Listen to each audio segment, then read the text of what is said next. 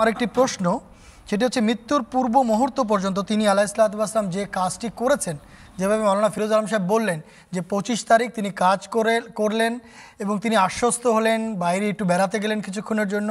তো সেটি নিশ্চয়ই অনেক গুরুত্বপূর্ণ একটি কাজ ছিল, তাই তিনি সে কাজটি করেছেন। তো শান্তি প্রতিষ্ঠার জন্য, এবং তার বইটির নাম আমরা জানি, বইটির নাম তিনি রেখেছেন পয়গামে সুলে, শান্তির বার্তা তিনি দিয়েছেন। তো তিনি মৃত্যুর আগ মুহূর্ত পর্যন্ত শান্তির লক্ষ্যে কি কি কাজ করে গেছেন, সেটি যদি আপনি আমাদের দর্শকদের উদ্দেশ্যে বলতেন। ধন্যবাদ। পঁচিশ তারিখ বিকেলবেলা যে বই রচনা বা পুস্তিকা লেখার কাজ শেষ হলো, তার আগেও তিনি একটা ঐতিহাসিক কাজ সম্পাদন করেছিলেন। যেভাবে মৌলানা ফিরোজ আলম সাহেব বললেন, তার ভীষণ বিরাট একটা ব্যস্ততা কাটছিল। ব্যস্ততার মধ্যে দিয়ে সময় কাটছিল। লাহোরের দিনগুলিতে এবং তার মধ্যে একটি সুধী সম্বর্ধনা ছিল, একটা সুধীজনের একটি অনুষ্ঠান ছিল।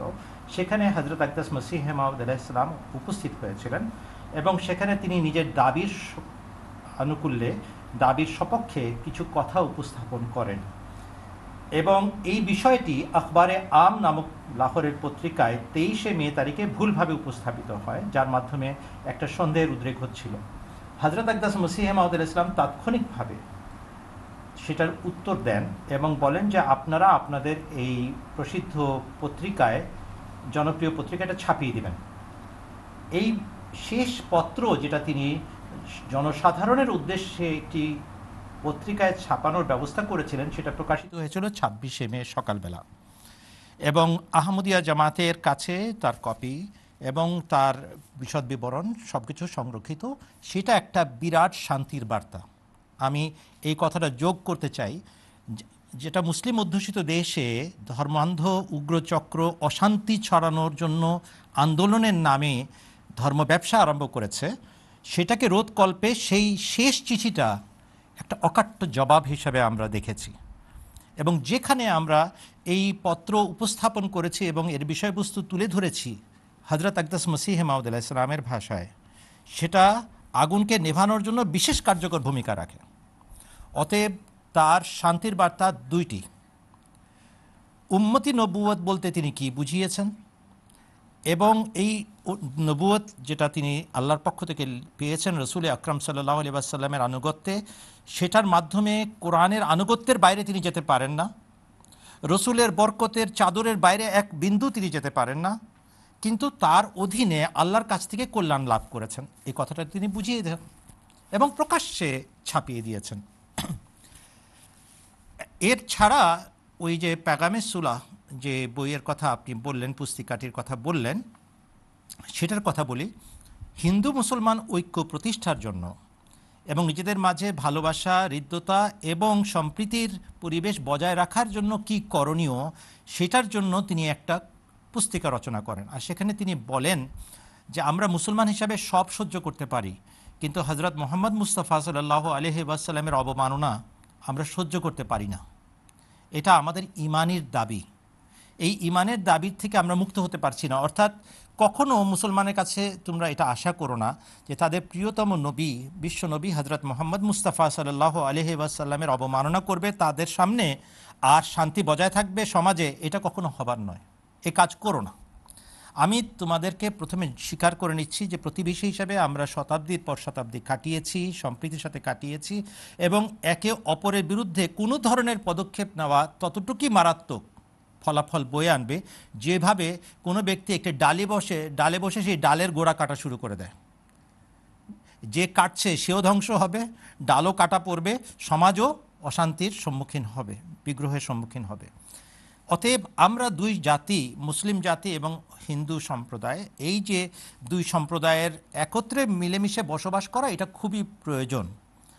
আর তোমাদের কাছে বিনীত অনুরোধ, তোমরা হজরত মোহাম্মদ সাল্লাহ আলিবাসাল্লামের অবমাননা করো না। যদি তোমরা অবমাননা করার জন্য বিনিময় কিছু চাও, আমি ঘোষণা দিচ্ছি, আমরা অনেক ত্যাগ স্বীকার করতে প্রস্তুত আছি। যেমন, তোমাদের ধর্ম বিশারদরা বলেন বর্তমানকালের হিন্দু শাস্ত্রের অধীনে ধর্ম বিশারদরা বলেন যে গরুর মাংস খাওয়াটা ঠিক না। এই বিতর্কে যাওয়ার প্রয়োজন নাই যে এটা তাদের শাস্ত্রে আছে কি নাই। হজরত মসিহ মাউদ, ইমাম মাহাদি আলাইসলাম বলছেন, যদিও আমাদের শরীয়তে গরুর মাংস খাওয়া পুরোপুরি বৈধ, হালাল, কিন্তু শান্তির জন্য আমরা গরুর মাংস খাওয়া বাদ দিয়ে দিব, কিন্তু একটা কথা দিতে হবে, তোমরা বিশ্বনবী হজরত মোহাম্মদ মুস্তাফা সাল্লাহ আলী আসাল্লামের অবমাননা করবে না। এতটুকু আমরা ছাড় দিতে রাজি আছি। তোমাদের আবেগের দিকেও লক্ষ্য রাখি, তোমরা আমাদের আবেগের দিকে লক্ষ্য রাখো। এইভাবে তিনি প্রত্যেকটা জিনিস খোলাসাভাবে বর্ণনা করে ইসলামের শাশ্বত শিক্ষা উপস্থাপন করেন এবং শান্তির যে সৌহার্দ্যের যে শিক্ষা ইসলাম ধর্মে দেওয়া আছে, সেটা স্পষ্ট করে দেন। এইটা লেখা শেষ হওয়ার পর, যেভাবে একটু আগে উল্লেখ করা হয়েছে, তিনি বিকেলবেলা একটু বেরোতে বেরোন আর ভাই আব্দুর রহমান কাদিয়ানি রাজিয়াল্লাহ আনহু সেই ঘোড়াগাড়ির পিছনে বসেছিলেন, যাকে হজরত আকদাস মসিহ মাউদুল ইসলাম বলেছিলেন, কোতোয়ালকে বলে দিন যে আমার কাছে একমাত্র একটি রুপি আছে, অতএব ততটুকু যেন যায় যে, যার মধ্যে এই ভাড়ার ভিতরে যেন সে ফেরত আসতে পারে, এটা যেন সে নিশ্চিত করে। এরপরে ওনার শরীর খারাপ হলো। কিন্তু যে জিনিসটা লক্ষণীয়, যে হজরত আকদাস মসিহে মাউদ ইমাম মাহাদি আলাহ সালাতাম তার জীবনের শেষ দিন পর্যন্ত সম্প্রীতি, সৌহার্দ্য এবং পারস্পরিক ভালোবাসা, সামাজিক ন্যায় বিচার প্রতিষ্ঠার জন্য আপ্রাণ চেষ্টা করে গেছেন। এবং প্যাগামে সুলা বইটা ছোট্ট আকার হলেও একটা বিরাট বার্তা বহন করছে। এটা আজ থেকে একশো তেরো বছর আগে যতটুকু প্রয়োজন ছিল, আজও কিন্তু ততটুকুই প্রয়োজন।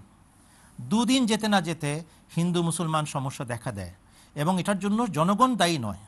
উগ্র সাম্প্রদায়িক শক্তি যারা উস্কে দিয়ে নিজেদের স্বার্থসিদ্ধির ব্যবসা করে, তারা এটার জন্য দায়ী। এজন্য উভয় পক্ষের উন্নতির জন্য আজও সেভাবে এই বাণী কার্যকর, যেভাবে একশো বছর, একশো তেরো বছর আগে কার্যকর ছিল। আজকে আমরা খেলাফত দিবস পালন করছি, আহমদিয়া খেলাফত একশো তেরো বছর পূর্ণ করেছে। আল্লাহ তালা কিয়ামত পর্যন্ত এটাকে স্থায়ী করুন। আর আমরা বলছি হজরত মসিহ মাউদ আলাহ সাল্লাতাম শেষ কাজটা কি করে গেছেন? তিনি হিন্দু মুসলমানদের মাঝে ঐক্য, ভালোবাসা, হৃদ্যতা স্থাপনের জন্য ভিত রেখে গেছেন। তোমরা আমাদের ধর্মের প্রবর্তক হজরত মোহাম্মদ সাল্লাহ আলিয়াসাল্লামকে সম্মান দাও, আমরা তোমাদের ধর্মীয় আবেগ অনুভূতির দিকে লক্ষ্য রাখব। এই যে সন্ধি, এই সন্ধির বার্তা ছিল তার শেষ কর্ম যেটা তিনি পঁচিশে মে তারিখ বিকালবেলা সম্পাদন করেছিলেন।